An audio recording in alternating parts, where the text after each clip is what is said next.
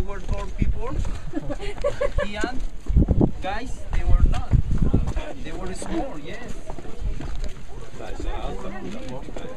They were short people. The, you know the average size of one Inca was one meter fifty five centimeters. They were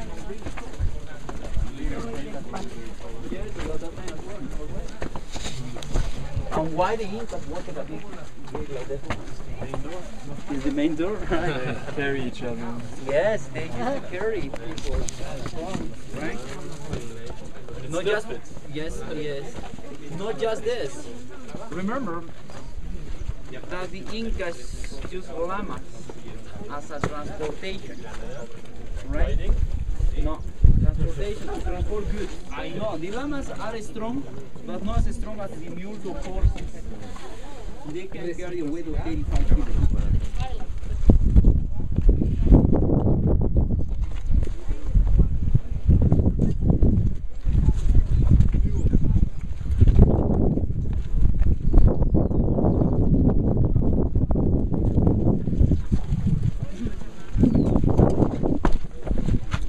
Sorry. I thought somebody fell. London tube tactics. Alex,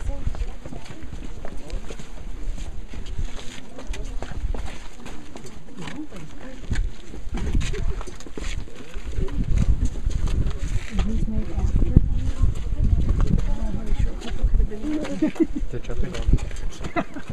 you were this morning.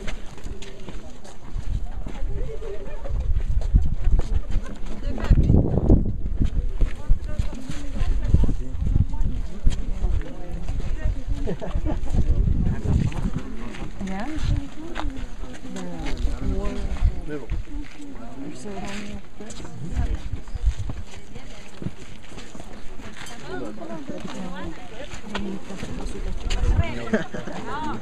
C'est quand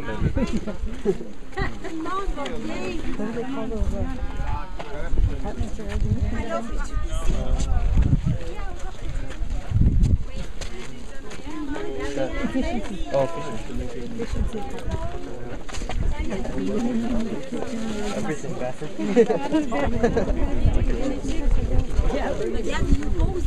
Get in the kitchen. No microwave. Ai, le Kodak, l'exemple. That's uh,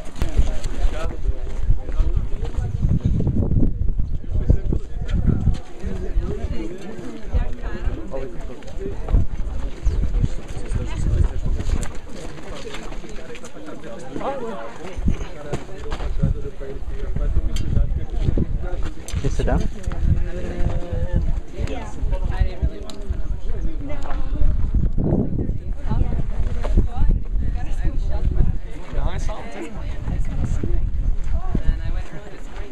How many here will go to Huayna Picchu? You will go, right? Yes.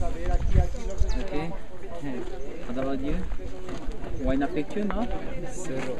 Cerro Machu Picchu. Guys, we have here part of the jewelry stone of Machu Picchu. Have a look at those big blocks of rock that are here. Those big blocks of rocks are here, consequence of one geological erosion that happened thousands of years ago.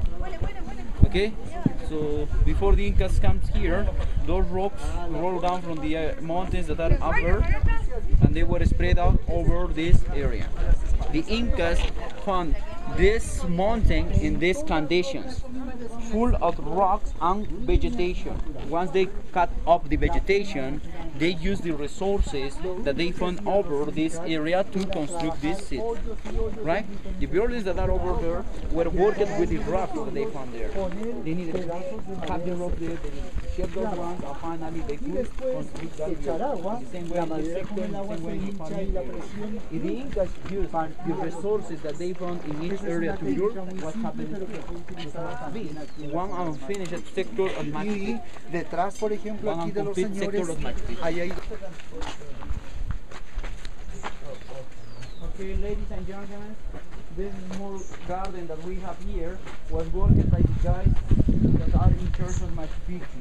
those guys through this small garden want to show us the most representative flora that we have here in Machu Picchu, right?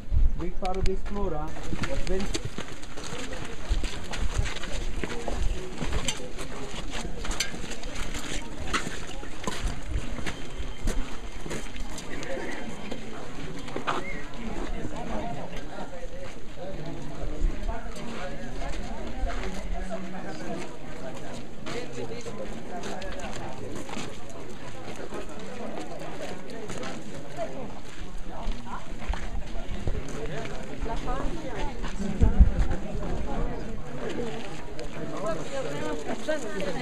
The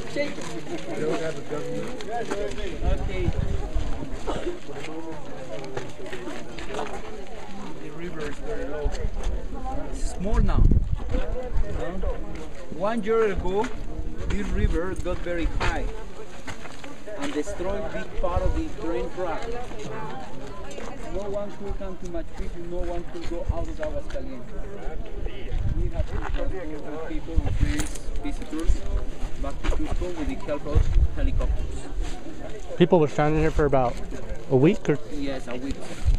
And the last ones that were transported were the tour guys. I know well this the area, the song. You know, I prefer to hike back to Cusco, right? So no work for three months. okay. So now, you know, the river is low. This is the same river that is forming the Amazon River. Have to know, right? Here it's called Urubamba, part of the Ucayali, Limanayum, and finally Amazon. Okay? What I mean is that this river is, you know, uh, uh, into the Amazon River. Alright? So the pipes that are over there are part of the power plant of. We are surrounded by the river. You saw the river in this side. You can see the river in this side. The river goes all the way around Machu Picchu, like a ring. It's a better example, like a horseshoe.